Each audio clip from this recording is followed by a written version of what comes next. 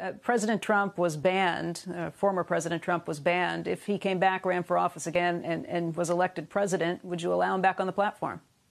So the way our policies work, when you're removed from the platform, you're removed from the platform, whether you're a, commentator, you're a CFO, or you are a former or current public official.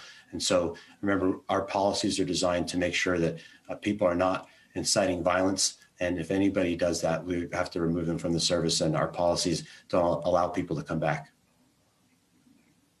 So, no. He was removed when he was president, uh, and the, there'd be no uh, there'd be no difference for anybody who's a public official once they've been removed from the service.